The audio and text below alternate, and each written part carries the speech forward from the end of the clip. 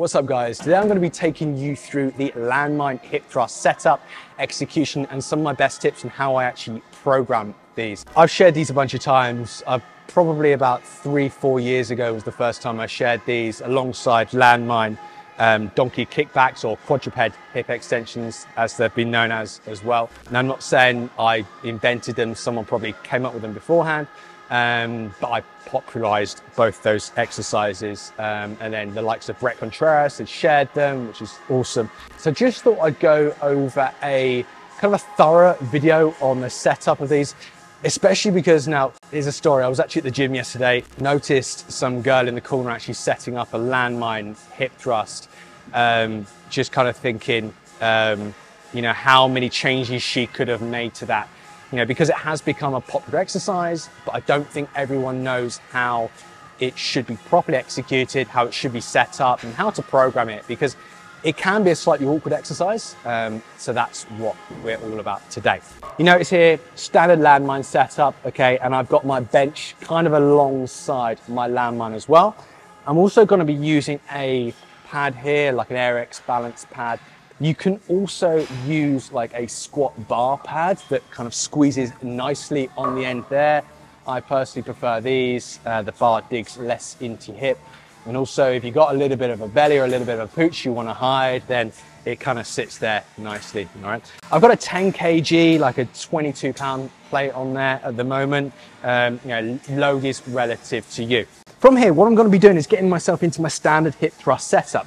Now, what I always recommend you do with any hip thrust setup is just to practice your hip thrust with body weight alone, just making sure you find the right position where your shins are vertical when you're in that top position and you're feeling that load through your glutes. So you can kind of have a play about in different positions and just find what feels good for you with just your body weight alone. What you can then do is you can then put a marker on the floor as to where your feet go. So you can put like a protein shaker or a your mobile phone or something like that, just where your feet go. Okay, I'm not going to do that today, but it's a nice way to do it so that when you then roll the bar on, you can reposition your feet next to your marker and you've got the perfect spot every single time.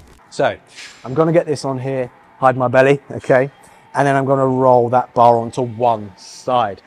Now, especially if you uh, go, you've got to watch that middle part of the bar. If your setup's wrong, it's probably going to dig in a little bit more. So just make sure you kind of find that point where it feels good for you, all right?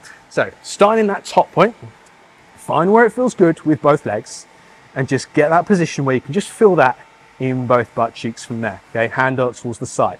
Now from there, take that one leg off. So you're only supporting that landmine with one leg now and just hover it up towards the sky, all right?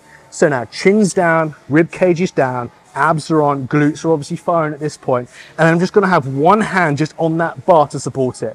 Now, you can have that one hand on the bar here, you can even have it on the plate, you can even have it on the smaller part of the bar if you want to, and then you've got that other spare arm just out towards the side, all right? So I've got that one leg off, so I'm gonna get all the way down to that bottom position, chin's tucked, rib cages down, squeeze my butt, and drive through.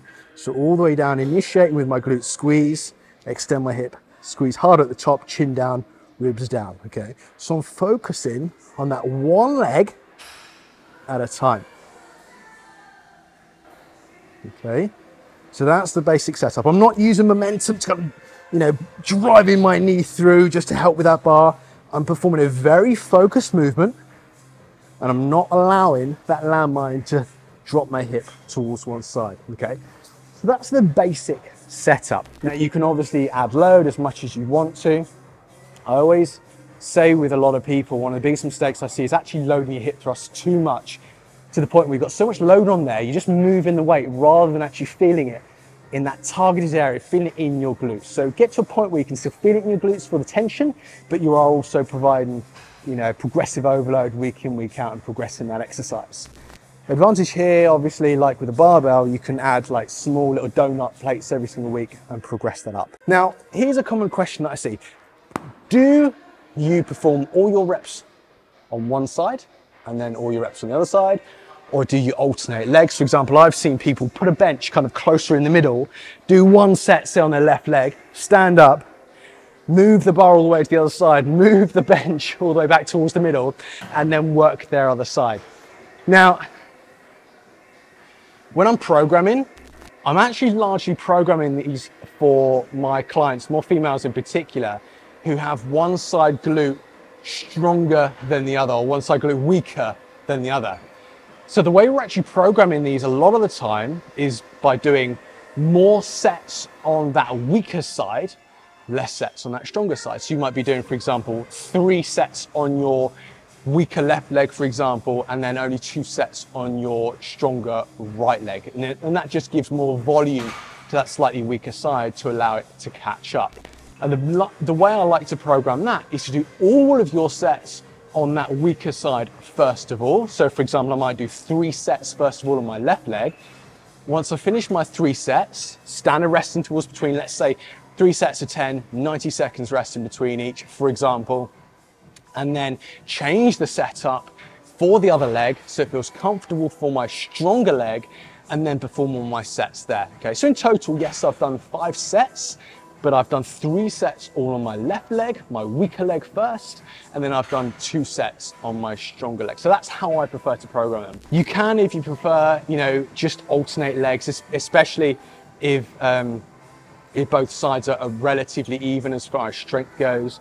Um, but personally, I don't like to set it up like that. I personally prefer, prefer to load the heck out of them, providing you're feeling that tension on one side, get as much out of the exercise as you can, and then change the setup, switch the other leg, make sure it feels comfortable, make sure it feels good for you, and then go on to the other leg. Hopefully you guys enjoyed this little video and my little explanation of how to correctly perform landmine hip thrusts and how I tend to program them. If you have any comments, make sure you, you leave them below. Um, otherwise, if you haven't tried them, please do try them. They are a fantastic exercise. I would argue probably the best single leg hip thrust variation out there just because of your capability to load and the comfort from a single leg standpoint.